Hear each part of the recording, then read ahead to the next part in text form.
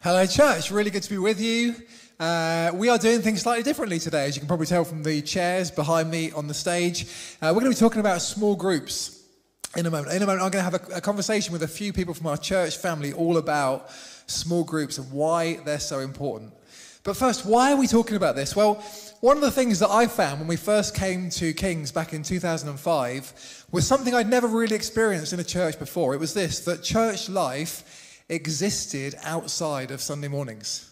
I'd never experienced that before. Uh, we were put into a small group of people who met together each week and we read the Bible together, we prayed together, we did life together. And you know, this has always been a church of small groups. Ever since this church began, in fact, even before this church started meeting on Sunday mornings, groups of people met together in homes to read the Bible, to pray together, to do life together.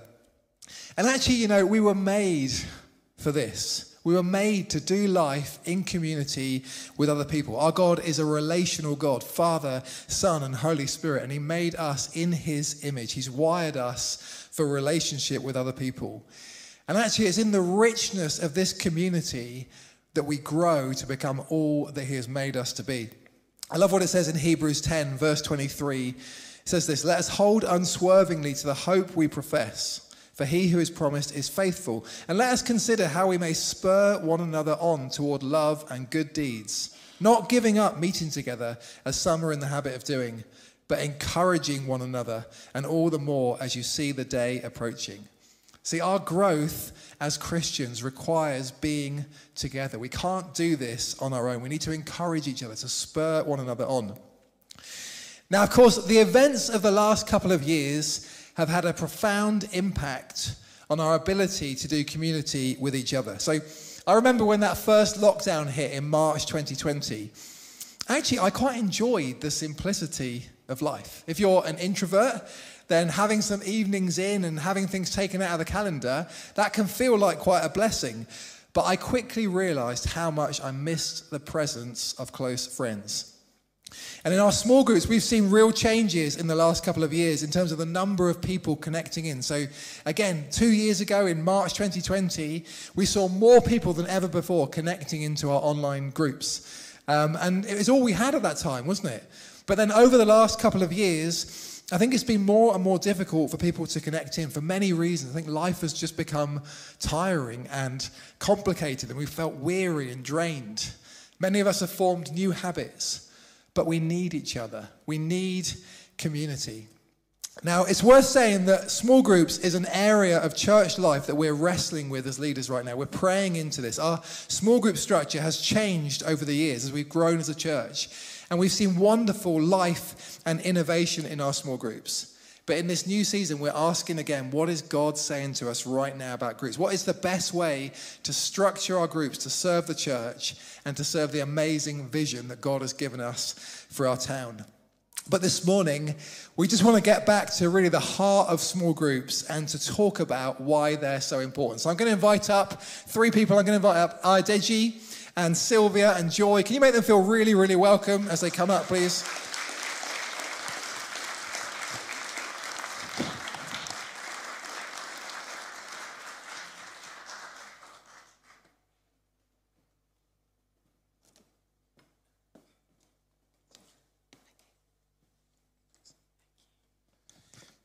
Now, you'll notice there's another chair at the end here as well. We're going to hear from someone else, a great story from small groups right at the end as well. Um, but I want to start with you, Joy.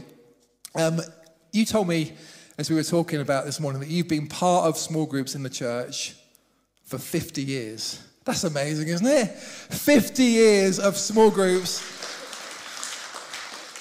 So, all apart from one term, I think, in lockdown when you felt a bit zoomed out. So you step back from that term. But um, what have you experienced in small groups over the years, and why are they so important to you? I found in small groups that uh, I can deepen my relationships with other people in my church family, and that's been very important to me. And um, it's a great place to be able to go and feel secure and to be able to share what's going on in your life.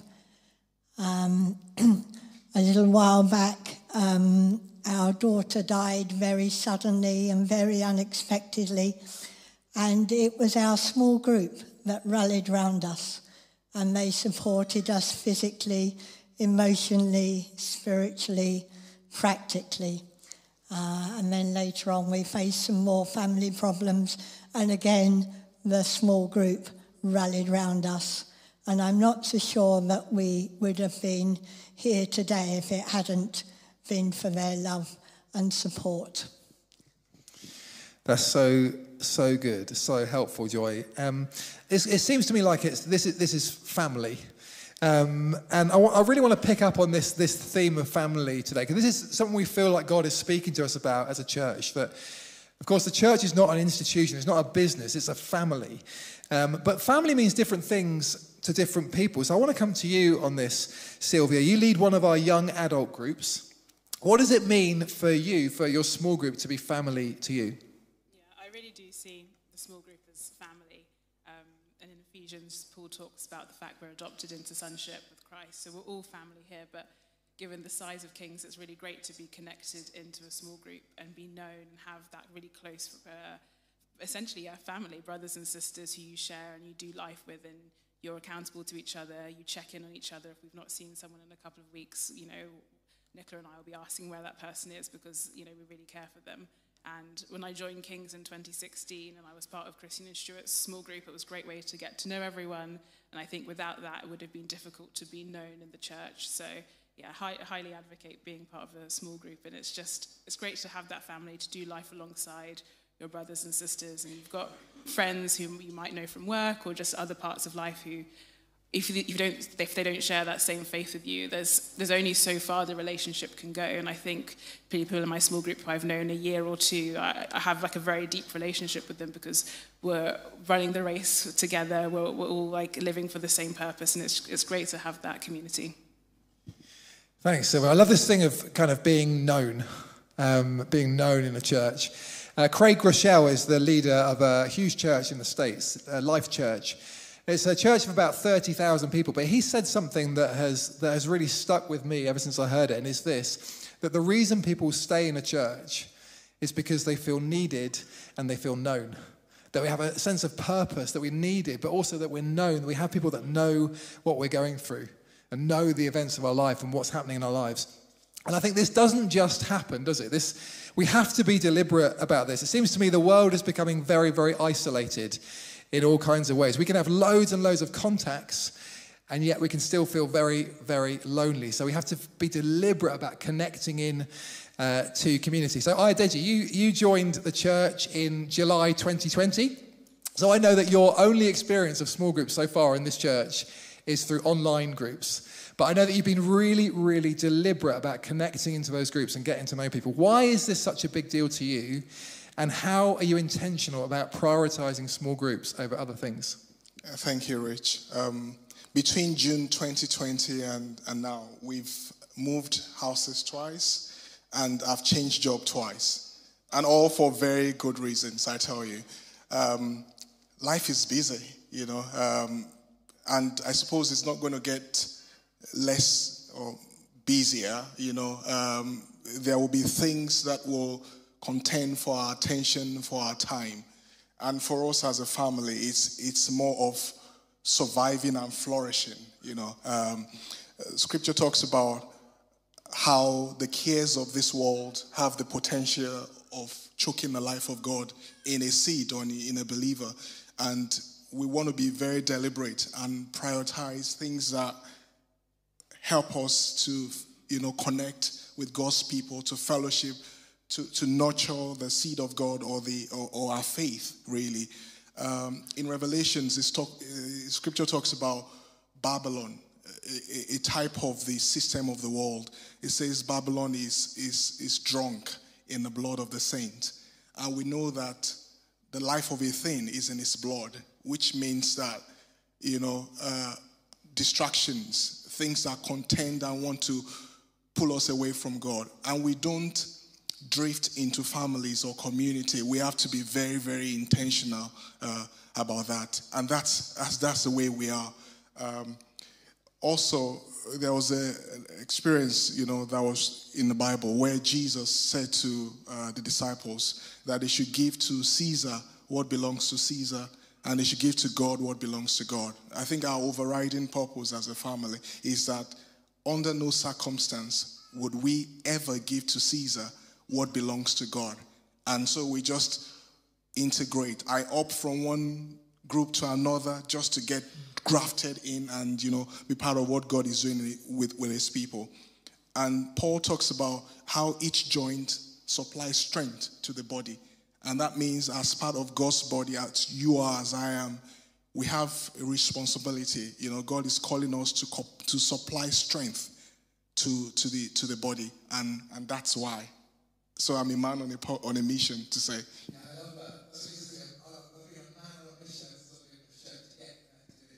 I love what you're saying as well about life. Life is not going to get less busy. There's never going to be a quieter time. And, you know, a term away from small groups can easily become a year and then two years. And so we need to be intentional about this.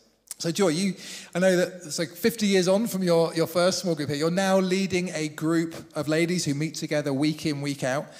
Um, you pray together, you study the Bible together, you do life together. How much of this would you say is just about actually the, that decision to show up week after week at small groups? Yes, I am in a group with some fantastic ladies, and uh, they all give it a hundred percent. And uh, because of that, we get to know each other well. We're able to speak into each other's lives, and to, they are a real blessing to me to to hear them pray, to uh, hear them share and their love and commitment to Jesus is just wonderful. And I come away every week being blessed by them. That's brilliant, isn't it? It's so good to hear. Um, there's one kind of final area I want to kind of hone in on here uh, to do with small groups, and it's this area of diversity. So, part of our vision is to be a diverse church of thousands. Uh, diverse in terms of ethnic backgrounds, but also diverse in terms of age, male and female, rich and poor, young and old. Um, so I want to come to you on this, Sylvia. I know that over the last six years, you've been in the, since you've been in the church, you've, you've kind of had people alongside you in small groups who are older than you, from different generations to you. What impact has this had on you? The first group I was in was with uh, Christine and Stuart, and I was by far the youngest by probably a couple of decades. And I just, I just learned so much from people who have been walking with Christ a lot longer than I have. And I think about the verse in Ecclesiastes where there's nothing new under the sun and what has been will be. And I, I think that's a verse I mull on quite a lot because everything in life from like family struggles, relationship, work, you know you're not the only person to face it and the Bible talks about troubles that will come but if you're walking alongside people who have been following Christ for years and have experienced those tribulations, as Joy kind of spoke about, but they've been able to get through the other side. Um, yeah, it's, it's, really important to have that. And with our small group at the moment, we have Pete and Trish. Well, we had them in our small group, and yeah, their advice has just been like invaluable, and they've offered such depth and breadth to the conversations that we have. And I, I think it's great to be in a group where you're not all the same, but um, yeah, you have a, a good mix from ages to race and everything. Something that's burning in me right now is this that we would be a truly kind of intergenerational church where there's one generation feeding into the next, investing into the next, and into the next. That we would see spiritual mothers and fathers in the church raising up spiritual sons and daughters, because that, that's family, isn't it? That's family. So I'd love to see that all the more. So uh, I want to come to you finally on this, Ayodeji. This, this issue of diversity. I know this is really, really important to you. So I'm going to give you just a chance to cast a little bit of vision here. What if we're to truly be family together as a church? What would you love to see across our small groups? Yeah, thanks, Rich. Scripture talks about how God set the solitary into families and family beyond blood. You know, uh, what what a what an amazing thing that God will uh, will will sacrifice so much. Someone said that when God gave Jesus, He gave His best. And when He gave the Holy Spirit, He gave His all. And there's nothing left for God to do or to give. Um, I'm thinking about or reflecting about the fact that God will do so much to give His Son, to give the Holy Spirit, just to save us, just to reconcile us. Uh, Ephesians talk about we that were far away from him, he has brought us close to be part of his family. And this family we're talking about is a mix of both black and white, purple and brown, you know, uh, those who are rich, those who are poor, those who are educated, those who are not, uh, those who are, you know, different status in the society, really. And in Revelation, he talked about how all those people, every tongue, every tribe, every people, every nation will come together, would worship God. And it seemed to me that if God will, will, would, would do all of that for us to, to just because He wants a family for Himself, then we have a responsibility also to make sure that the walls that God has broken down, we are not rebuilding that again in our fellowship, in our church life, in, in terms of forming cliques and, you know, different separate groups, you know. I, I remember when I first joined, um, it was very difficult to get into some small groups because right hours why after they've launched the small groups is already filled up. And i'm like wow how do i get in? You know? Uh, but the, the truth is that we are part of god's big family and we should be very open and generous in, in bringing people in, in accepting people, in, in, in integrating people, you know, to be part of that big family. And in Songs of Solomon, when he was talking about the church, it says, When I saw my bride, she was altogether beautiful. And that's what I like to say. I love that, Ayodeji. Thank you. Thank you guys so much. In this, in the context of this kind of talking about community, then we're going to hear a, a, specific story from small groups. I'm going to ask you guys to stay on the stage for a minute. Can I invite Martin to come up? Let's make Martin feel really, really welcome as he comes up.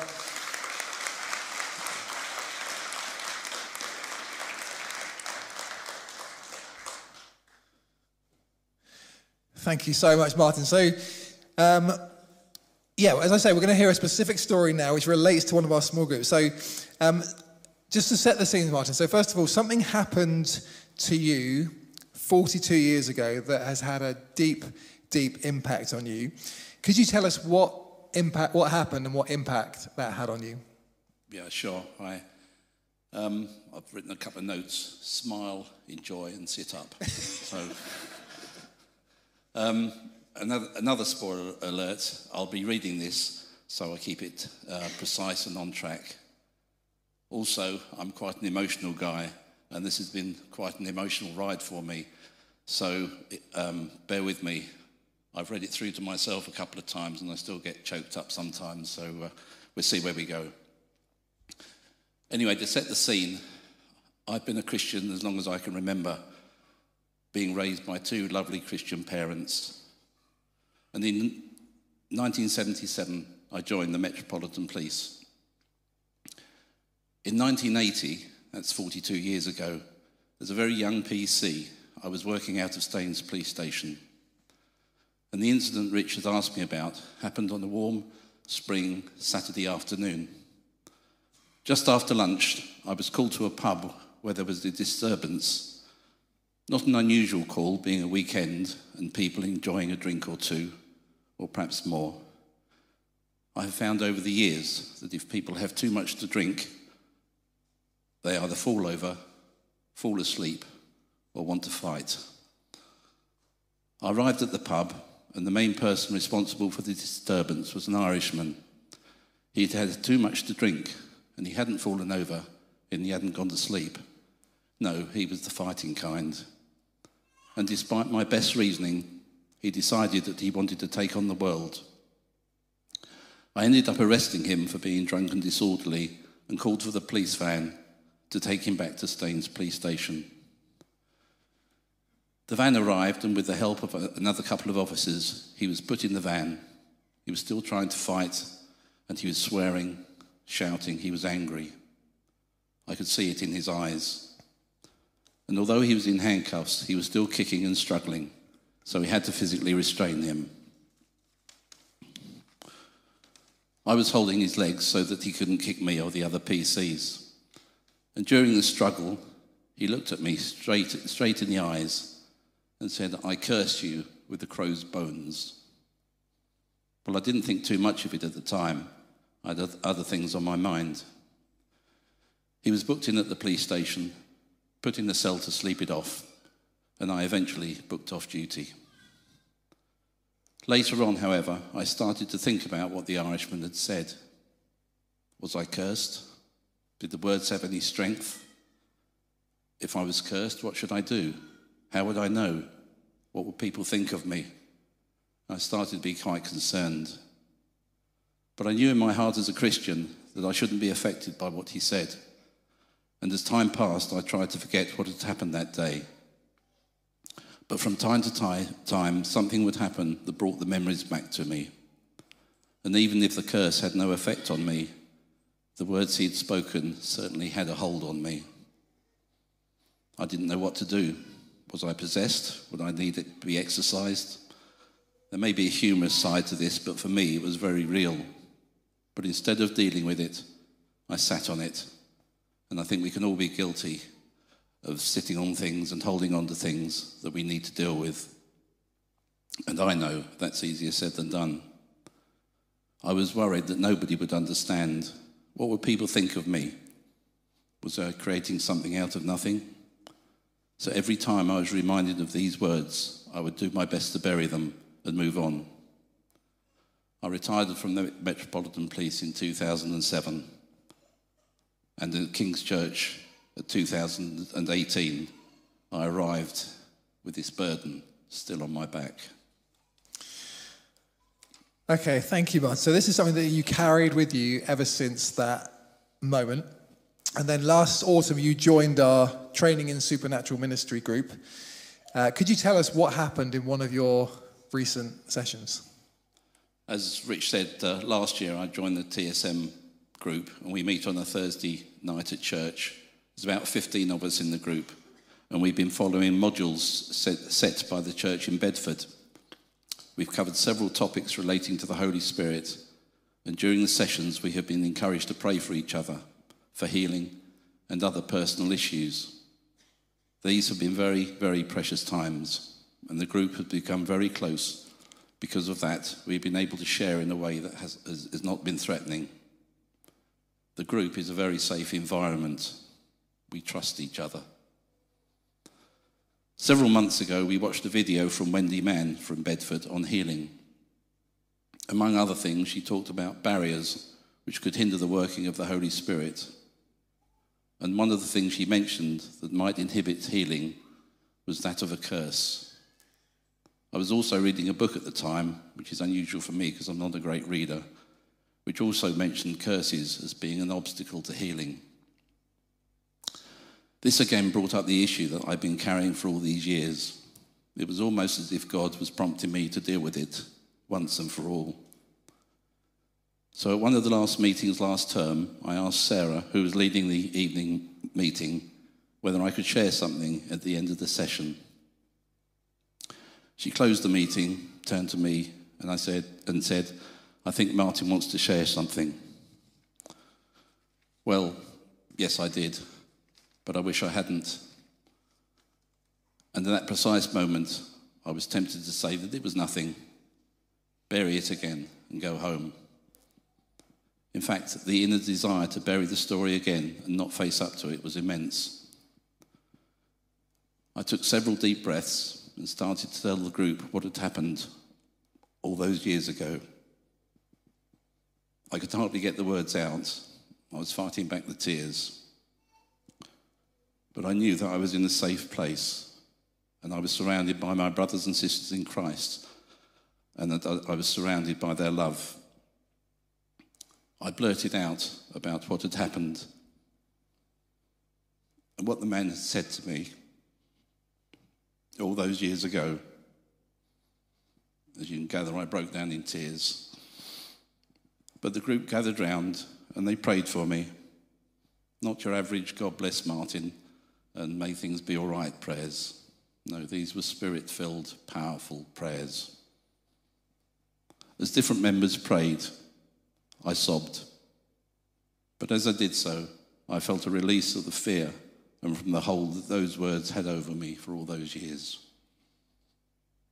As you would gather, it was all very emotional And although I heard what, what was being prayed, I couldn't remember what was said. However, by the time the group had finished praying, I felt a real sense of inner peace. And Charlie, who's one of the group, had spoken into the situation amongst the prayers. So afterwards, I contacted, her by WhatsApp to ask her to let me know what she said. And this was her answer Hi, Martin. When you were sharing, I physically felt a sense of fear. And God said to me that when that man tried to curse you, the curse did not stick to you, but it caused you to fear. And that was the only thing that you needed to be set free from that stronghold of fear that it caused. When Alam prayed deliverance over you, I felt a huge sense of peace. And God said that He'd removed the spirit of fear and replaced it with peace. I also felt that if the enemy tries to make you fear again, just reminded that it, was been, it all has been dealt with. You are covered by the blood of Jesus, and no curse can stick to you.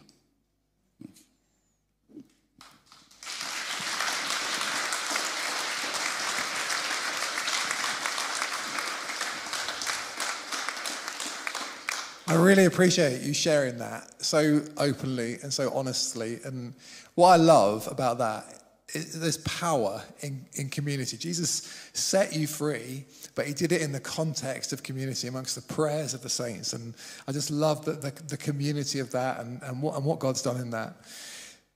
Can we thank uh, these guys? I'm gonna, I, in a moment, so I'm, in a moment, I'm going to explain how small groups will work this term. But let's just thank Martin and Sylvia and Ayodeji and Joy so much for everything they've brought this morning. Let's thank them.